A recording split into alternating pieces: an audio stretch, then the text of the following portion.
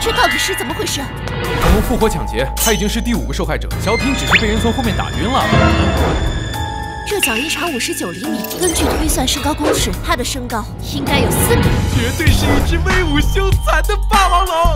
对呀，吓死我了！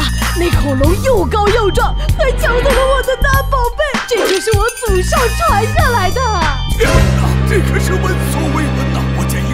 把这个公园封起来，网红打卡点。啊 这是我拍到的恐龙照片，今年的新闻奖是我的啦。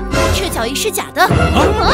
首先，一个身高四米的霸王龙，它的体重在九吨左右，那它在地上留下的脚印就不可能这么浅。其次，这张能证明恐龙存在的照片也是假的，恐龙根本没有复活，这不过是你和女记者自编自导的新闻罢了。恐龙！别装了，根本不可能有啊恐龙！这恐龙只是全息投影罢了。从后面打晕小品的人就是你，你为什么要这么做？我们的存在是为了帮助别人实施完美的犯罪。